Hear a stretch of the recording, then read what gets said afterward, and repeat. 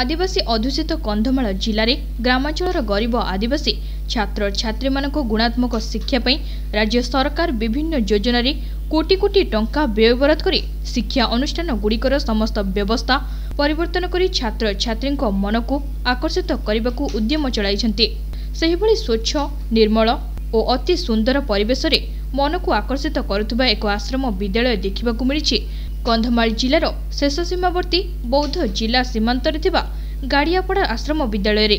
ଏହି ବିଦ୍ୟାଳୟରେ ପ୍ରଥମ ଶ୍ରେଣୀରୁ ଅଷ୍ଟମ ଶ୍ରେଣୀ ପର୍ଯ୍ୟନ୍ତ ରହିଥିବା ବେଳେ ଶହେ ଅଡ଼ଚାଳିଶ ଜଣ ଛାତ୍ରଛାତ୍ରୀ ପାଠ ପଢ଼ୁଛନ୍ତି ଓ ମାତ୍ର ତିନି ଜଣ ଶିକ୍ଷକ ଅଛନ୍ତି। ଶହେ ଶଯ୍ୟା ବିଶିଷ୍ଟ ଏହି ଗାଡ଼ିଆପଡ଼ା ଆଶ୍ରମକୁ ଦେଖିଲେ ଲାଗୁଛି ଏକ ଶିଶୁ ଉଦ୍ୟାନ ପାର୍କ ଭଳି। ଅତି ସ୍ୱଚ୍ଛ ନିର୍ମଳ ସୁନ୍ଦର ପରିବେଶରେ ସଜେଇ ହୋଇଛି। କୌଣସି କ୍ଷେତ୍ରରେ ମଧ୍ୟ ତ୍ରୁଟି ଦେଖିବାକୁ ମିଳୁନାହିଁ। ସେହିଭଳି ଛାତ୍ରଛାତ୍ରୀଙ୍କ ଗୁଣାତ୍ମକ ଶିକ୍ଷାରେ ମଧ୍ୟ ଅତି ଉତ୍ତମ।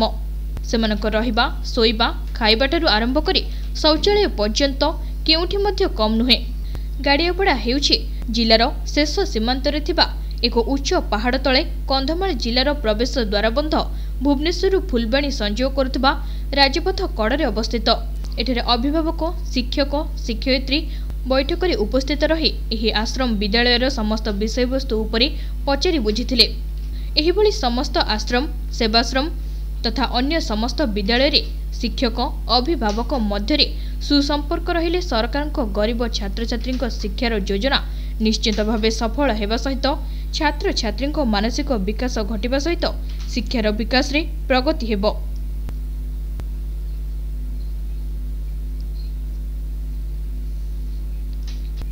କନ୍ଧମାଳ ଫୁଲବାଣୀରୁ ବୈଦ୍ୟନାଥ ବେହେରାଙ୍କ ରିପୋର୍ଟ ତୀର୍ଥକ୍ଷେତ୍ର ଲାଇଭ୍।